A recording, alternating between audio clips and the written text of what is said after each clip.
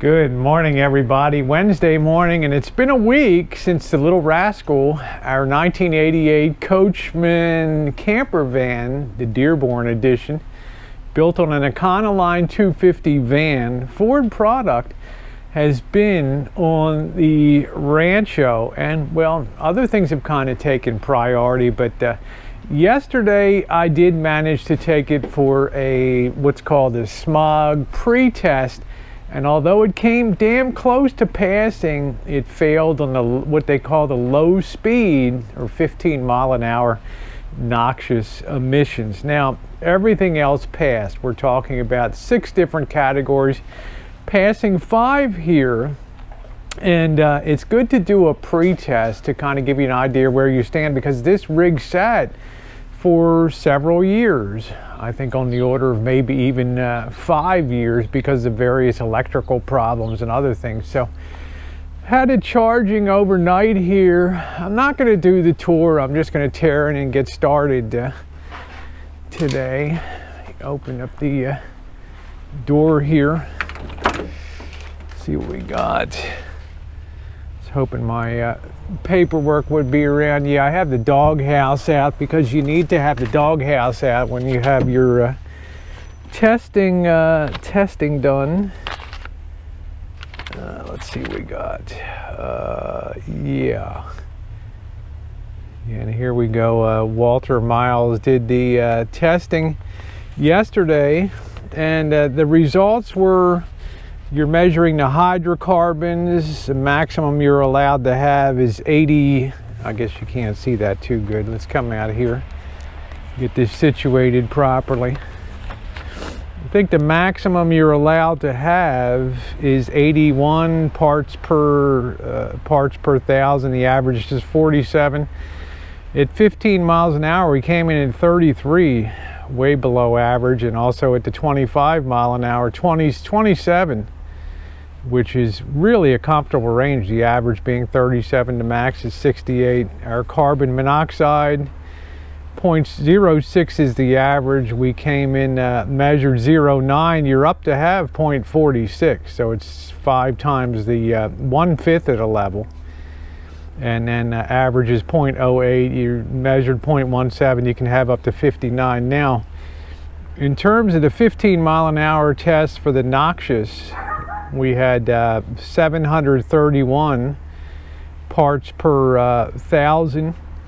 You're allowed 694, so we didn't miss by much. Less than well, maybe about uh, maybe about less than 10% here, but it's pretty high compared to the average. And we're we're gold at lower. I mean, at higher speed, they measured 30, 391 the average is 283, the maximum is 596, so we're 200 there. So we have to figure out what's going on at uh, low speed so we can go ahead and uh, pass this uh, pass this emissions testing. So there we go. So to do that, we're going to start tearing into some of this electrical and this uh, engine work. And uh, you can see here got things like the uh, got things are in pretty good shape in here. You but you got uh, breather valves like this EGR valve here. This thing could be uh, could be stuck. This uh, uh, exhaust gas recirculation valve. There's a there's a lot of valves. You see here that after sitting for years uh, could have uh, could have gone bad. And these are the things that are going to be checked out. I'm not going to go through the tedious stuff on a video of doing it but there's a lot of vacuum lines around here and at certain speeds this engine pulls a vacuum and it helps regulate the flow of uh, of fuel and air into the engine here now, what could be, uh, now if those vacuum hoses are pinched or degraded, then of course you're not holding a true vacuum and you could have some, you will have some problems maintaining the fuel air mixture across a range of uh, RPMs. Bottom line is at certain speeds you may you may pass because it's going, you know, the air mix air fuel mixture is in the proper ratios, but then at lower speeds, you may not be pulling enough vacuum to, to have that. So that's what's going on here. There's a couple other issues. Uh, now, some of you are going to say, geez, Rosie, you, you picked up the rig that sat for years. You drove it 280 miles and you didn't change the oil. You know, that would have been a starter. Well, the theory is get it gone good, get it running on the road, get all that old oil circulating. Now back on the ranch, so we can drain that out and push fresh, put fresh oil in because that's one of the simple things. Burning that old oil could have caused uh, a higher noxious uh, uh, output here of noxious uh, emissions. So we're going to be changing the oil today. Also another cause of higher noxious emissions can also be uh, an engine temperature that's a little too high. You're burning, you're burning too much, uh, too much of the mixture in there. It's getting too hot, and as a result, you're over combusting that uh, mixture and popping it into the air. So we want to also try to flush the uh, cooling system here, clean that out, put some fresh, uh, put some fresh in.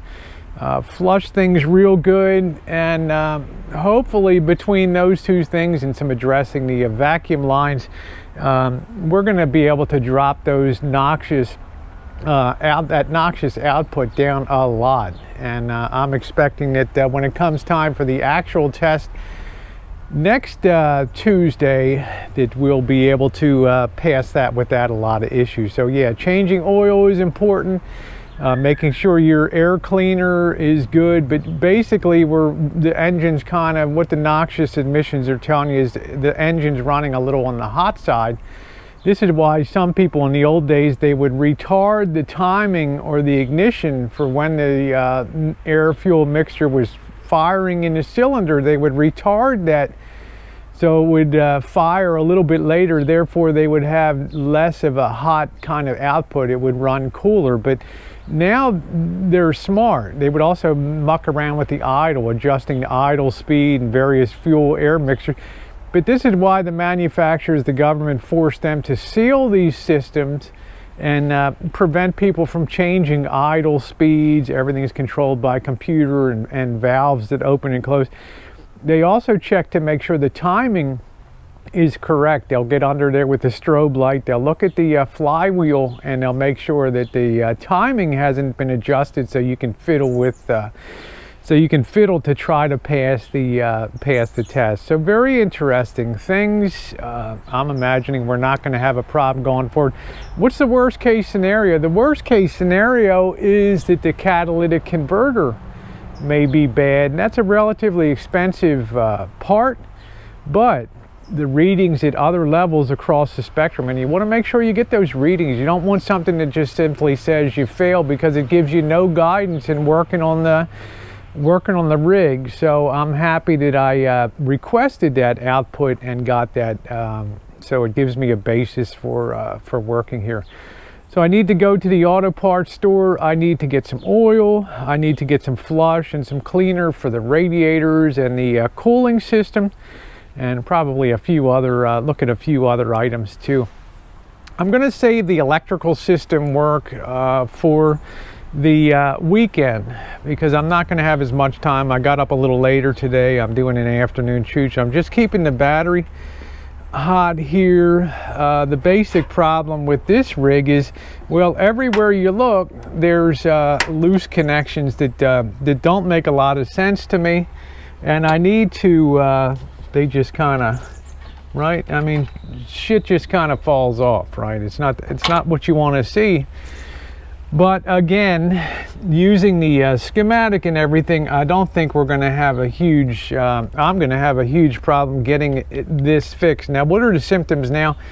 You run the rig and it runs down the battery. Luckily when i went to reno i bought a uh, I bought a new battery and just on that battery with no alternator, no, no ability to recharge that battery, that uh, battery lasted 280 miles before it crapped out. So that just goes to show you, you can go a long time with an inadequate charging system and not even know, know it. But I already knew the charging system had uh, problems. This is one of the reasons that the seller gave me a healthy rebate of $1,000 on the uh, rig and it really helped uh, lower my purchase price because I can do a lot of work uh, myself. But it wasn't charging, and um, it could be the alternator. Uh, you know, I haven't even bothered to check that. I'm going to save that for the weekend. I need to tear into all things electrical here. I've also got the uh, check the voltage regulator. I want to check the whole system. Uh, so between those two, we're looking at maybe uh, 60, 80 bucks for a rebuilt alternator and maybe $15 for a voltage regulator. Again, it's not it's not going to be a killer to take care of that uh, that problem. So our top priority now is getting this baby ready, getting this engine in tip-top shape so that when we go to get our actual emissions test next week, we're going to uh, we're going to pass through there, whiz through there with uh, flying colors. So I'll see you guys in a little bit. We're to get some pans and get some stuff and start to uh, start to get the show on the road, draining some uh, fluids here. So okay, we'll see you soon. I will mention uh, one other thing too here in terms of the coach. There's another lock. I wonder if I have the damn key too, right? In terms of the uh, coaches, you're required to be able to access the uh, gas tanks during the emission test. And that was a big problem for me yesterday because, well, the dope that sold us the uh, coach, the intermediary, didn't know where the keys were. Luckily, I found at least the key to the front uh, gas tank or the rear gas tank under the seat. So I was able to get that open. And then I ended up having to pry and basically destroy the lock on this mechanism to get this one off. So this is another requirement in California and my two gas caps failed. So I have to go ahead and order two, uh, two new ones. The guy was nice enough to uh, continue the test because they have what's called a visual inspect inspection too when it comes to uh, smogging and they just stop immediately if they see a problem. There's no sense going on until that visual problem. It could be people puncture their exhaust lines to try to get more oxygen in, less output. They try a lot of different things, so they visually check everything, air cleaners, all the systems. And uh, they put a vacuum test on these uh, gas tanks. And if you don't have a decent cap on it, you're gonna you're gonna fail. So, all right, let's get on the road now. I hope you guys don't mind heat because everywhere I go, I've got a window that doesn't really come down here yet. And believe me, riding with the doghouse out is, uh, well, it's a bird of a different feather when it's 95 degrees in the afternoon. But this is why we're kind of heading out a little bit, a uh, little bit early today.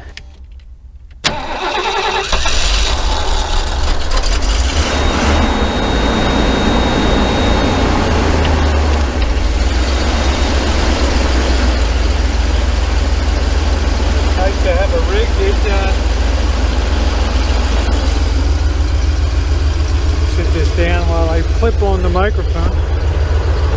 It's really nice to have a rig. That thing sounds sweet. Love that engine, that 351, that 5.8. So nice to have a rig that I can just split, head out, without having to worry about moving a lot of damn vehicles. That's a beautiful thing.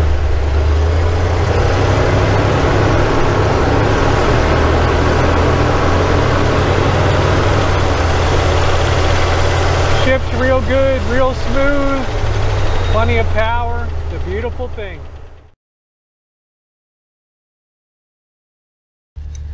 Okay, the engine is uh, nice and hot. And This is something I should have done before, but didn't really have a chance to. When you're on the road picking up a rig, you do what you can do. This oil is old and it is plenty nasty. And this is uh, one good way to fail your emissions is to be using oil that's totally black.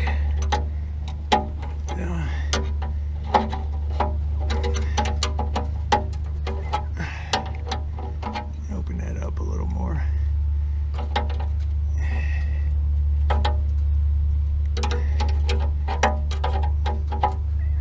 I lent out my big wrenches.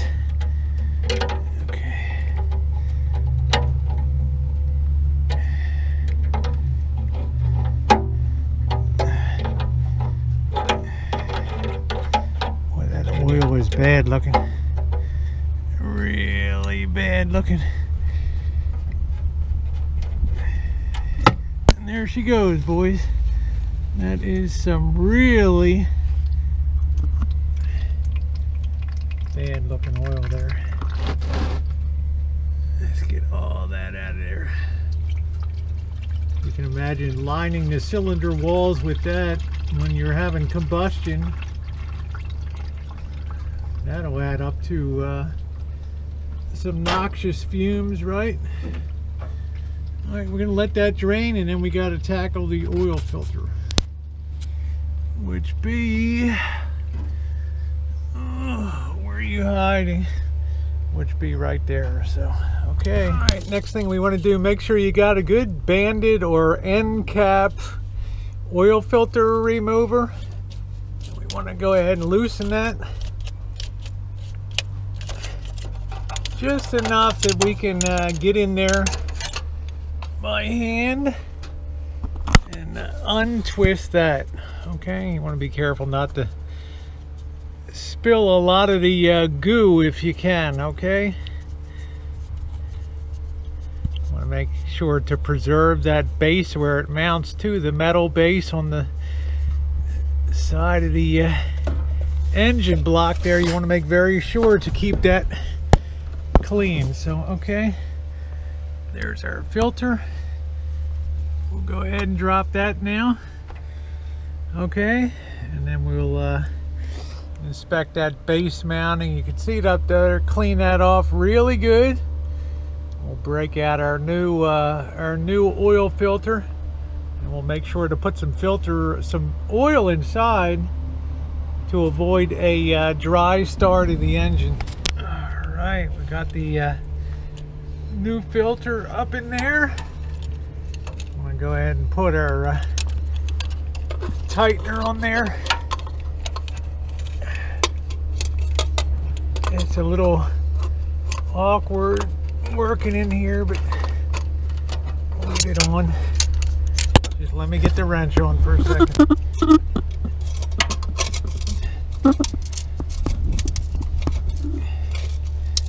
do not want to over tighten these or you'll damage the filter.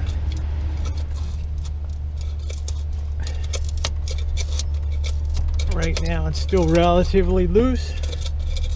This is just helping me turn it a little bit. These filter wrenches are very good, very good things to have. Okay. One more little snug down and that will be it. Okay. Now it remains to get our uh, our bolt out of there. Let's clean up the uh, mounting surface for the uh, oil pan. And let's pop our uh, let's pop our uh, plug in and get our new oil make sure when you uh, put your plug back in that you don't cross the threads I can't tell you how many times I've seen that with the uh, backyard mechanics. Put it in, if it resists tightening, they just go at it, boy, and just till they cut new threads that are crossed to the original ones. So also make sure that your uh, seating area very, very clean. This is something we want tight, but again, don't over tighten. There we go, and that should be perfect. All right, make sure to uh, cap this really good. Okay, and then we'll haul that out, and our oil filter will dispose of this uh, properly. I'd love to find a uh, manufacturing date on that, which if I looked hard enough, a date code. Boy, that was some kind of dirty oil, guys. So, I'm gonna go ahead and start uh, Start filling her up here. Here's our oil fill valve. I believe it takes uh, five quarts, so I really like to use Pennzoil high mileage, although this is not a really high mileage vehicle at 80,000. Can't hurt. So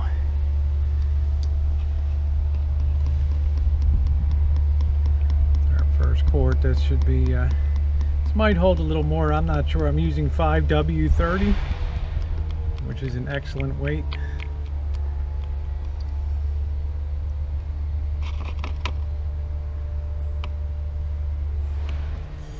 Alright, I'm going to finish topping her up and check with the stick periodically. You don't want to overfill it or you'll have to get a uh, pump and pump that out. So, Alright, rolling along today. Day one of uh, cleanup and restoration.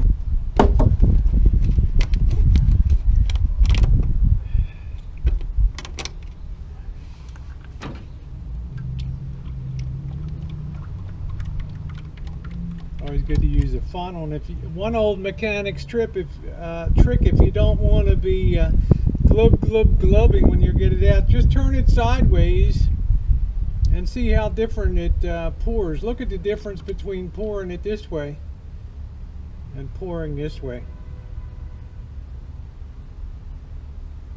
it is just silky smooth huh Right, I'm going to go ahead and stop there and let things uh, even out a little bit and see where we are on the stick. See? Show you guys new things.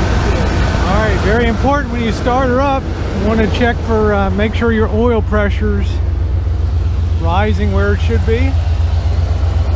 We're right centered up there, which is good. Exactly where we, uh, exactly where we want it. And we look down below, make sure we don't have any leaks or anything. We shouldn't.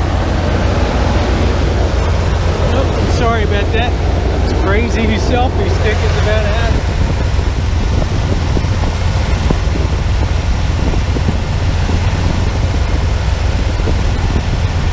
Looks good. Very good.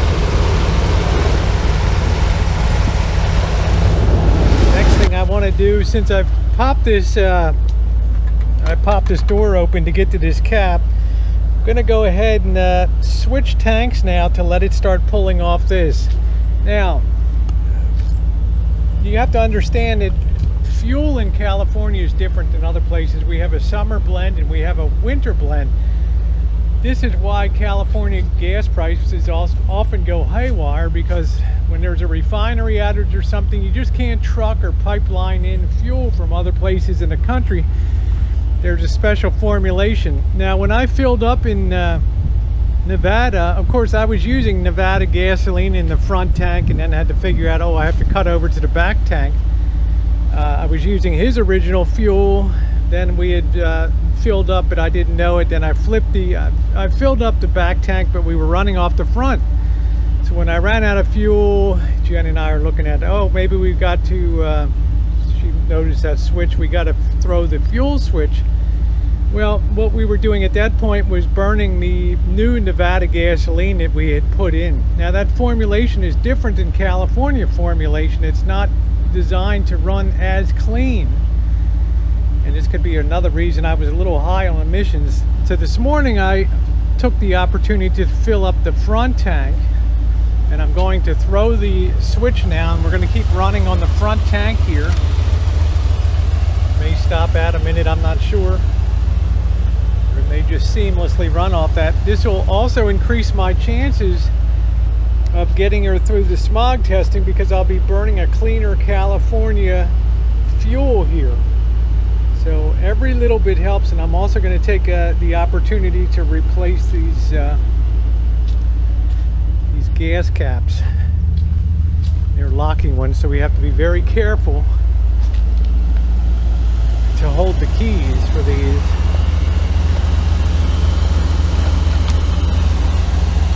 That's the uh, new stall that we have here. Man, it's just keys, keys, keys, keys. This rig must have 15 keys on it so far go ahead and change out this front front one. See how this is going to work. That old one has lost. Its uh, seals degraded, so they couldn't test it. So let's go ahead and see what we have here.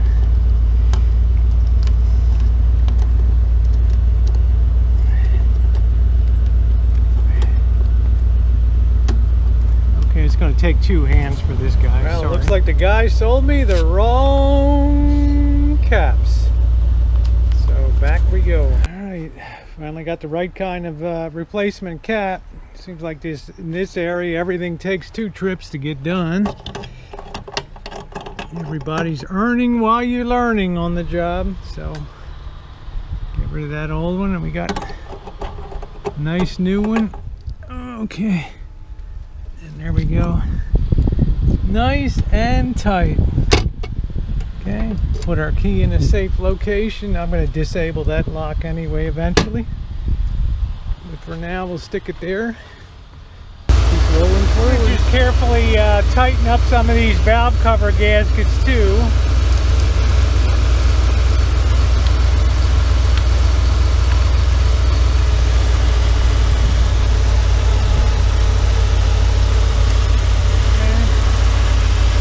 Already got one. Uh, that one was having a little bit of drippage on the other side over there, so it's good to tighten them. Caution is don't over tighten them, or you'll uh, you'll strip them, you'll break them off, and uh, you'll really have a leak in your uh, valve cover gasket. I tightened them on this side really carefully, not too much. I had a tiny bit of smoking, and the uh, leaking seems to have uh, stopped. Not much of a leak, just it was a little wet there and I want to close that off. I don't want any problems with leaking oil.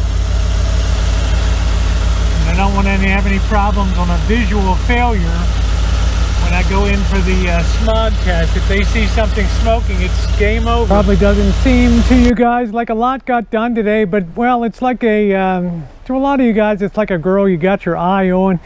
You want to kind of go slow, you want to size it up, you want to make sure you know all the angles before you go charging in. And part of this was uh, today the back and forth flow to the auto parts store, wrong gas caps, uh, wanted to change up, uh, well, a couple different things that uh, I had been uh, sold, but the oil's changed. She's running like a top. I'm going to wait for the engine to cool down today pull the radiator cap and we're going to use the uh, Prestone flush and cleaner. And what this is going to do is over a period of three days as I run the engine well over the weekend and everything it's going to help to uh, loosen a lot of that crap in the uh, cooling system.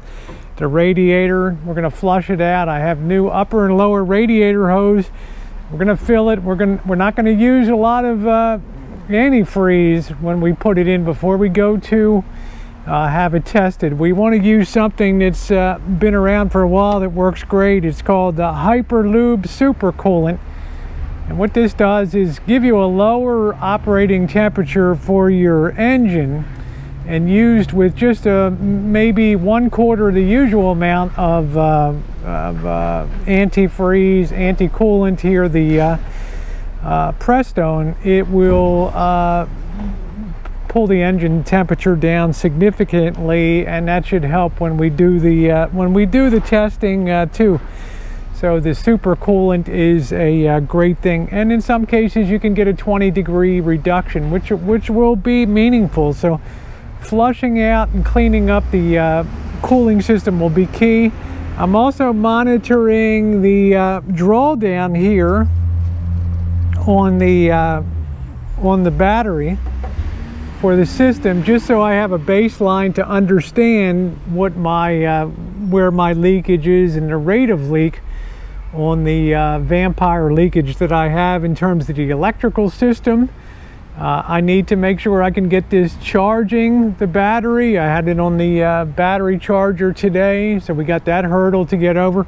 In addition, we have the high idle here. We need to get into here behind the air cleaner. We need to get into the uh, automatic idle adjuster and see what's going on with that because right now our idle speed is way too high. We got our hands full guys, but uh, we got about a week to get things done and uh, we'll do it. we'll get her done. Thanks for being along today.